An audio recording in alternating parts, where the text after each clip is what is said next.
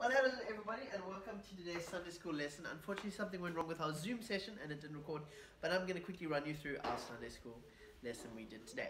We spoke about the heaviest thing that we need to carry, that we could possibly carry. Some children suspected that they could maybe lift up to 50 kilograms, and others they thought maybe 100 kilograms. We even spoke about how much weights that people could carry.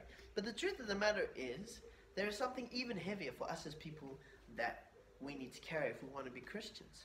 Our passage today comes from Matthew chapter 16. I'll grab it for you here. I'm going to read it to you quickly. It is in the Gospel of Matthew chapter 16, and this is what it says. Matthew chapter 16, verses 24. Then Jesus said to his disciples, Whoever wants to be my disciple must deny themselves and take up their cross and follow me. For whoever wants to save their life will lose it, but whoever loses their life for me will find it. What good will it be for somebody to gain the whole world yet forfeit their soul?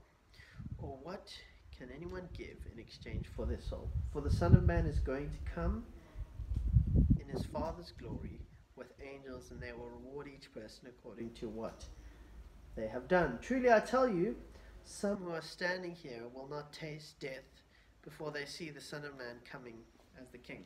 We're going to be focusing on that. Pick up your cross and follow me.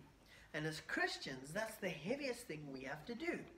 We have to pick up our cross and follow Jesus. That means we need to deny ourselves. We spoke about sin in our Sunday school lesson as well.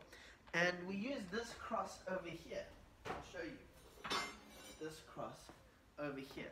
And you see, when we try and carry our cross, and this is sin, and sin sometimes drags us down. And when we try and follow Jesus, but we keep sinning, it doesn't work.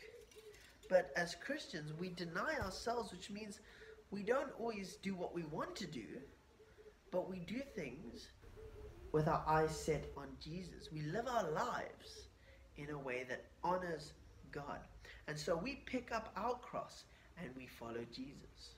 The Bible says to us, what is the point of somebody gaining the whole world and losing their soul? That's almost like running a race. And as you get to the finish line, you go the wrong way. And although you first, you don't finish the race. Rather, we pick up our cross and we follow Jesus in everything we do. That means we die to self, we deny ourselves. And often that self centeredness is sin. And that was what today's lesson was on.